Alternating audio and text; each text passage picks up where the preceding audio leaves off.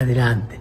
Faltan 40 días, como una cuaresma, hasta llegar al encuentro de Lisboa. Yo estoy preparado, ¿eh? Yo ya tengo todo en la mano porque tengo ganas de ir. Algunos piensan que por la enfermedad no puedo ir, pero el médico me dijo que puedo ir.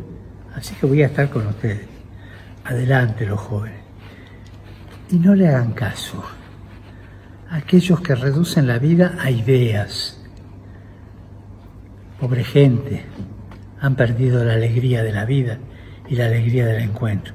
Recen por ellos. Pero ustedes con toda la vida, con los tres lenguajes de la vida, el lenguaje de la cabeza, el lenguaje del corazón y el lenguaje de la mano. El lenguaje de la cabeza para pensar claramente lo que sentimos y lo que hacemos. El lenguaje del corazón para sentir bien profundamente lo que pensamos y lo que hacemos y el lenguaje de las manos para hacer con eficacia lo que sentimos y lo que pensamos. Adelante, coraje y hasta Lisboa.